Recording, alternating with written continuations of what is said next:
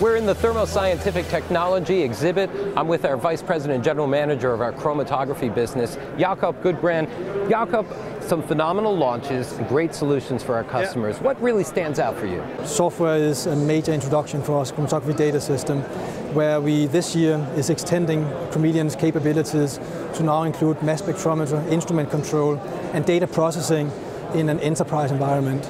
Essentially the way we should look at it is Thermo Fisher Scientific is now the only company in the world that provides an integrated single vendor solution across IC, LC, GC, and mass spectrometer. It's a phenomenal tool to help customers accelerate getting from data to, to, to, knowledge much, much faster than, than what we have seen historically. So we have several new features in that area. One is around automated workflows that we're really accelerating the, the, and simplifying the use of, of, of Chromeleon. One of our customers, a major CRO, uh, they recently migrated uh, to Chromeleon and they reduced the overall time spent uh, from two to two and a half hours per sequence down to 30 to 60 minutes per sequence. And that's a reduction of 50 to 65% per sequence. And it's just a tremendous improvement in, in productivity.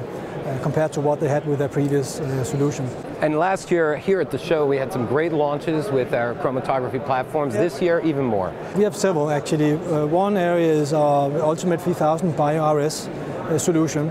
And it really is a solution more than just a system. We supply not only the unique column chemistry, also the uh, hardware in terms of the BioRS, and also that's then powered by Chromeleon. It's really a complete solution. That I think is, is the way we're going to go forward as well bundling up our technologies, and particularly on, on, on, this one, the new GlycanPac column that we just launched, designed to enhance glycan analysis, making it faster with more information for, for charge states uh, glycans is part of that BioRS solution.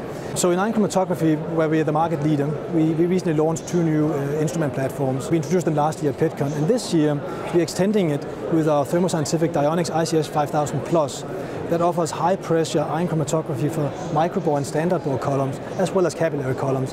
And it, it really makes for the first in the world truly universal high pressure ion chromatography system. If customers' need is for fluorescence detection, we can supply that as well for qualitative and quantitative analysis. And uh, if structural elucidation is necessary or the need for the customer, we can supply the high resolution accurate mass in terms of our thermoscientific uh, Q Exactive. Last year, as, as, we talked about, we introduced uh, the first in the world modular uh, GC.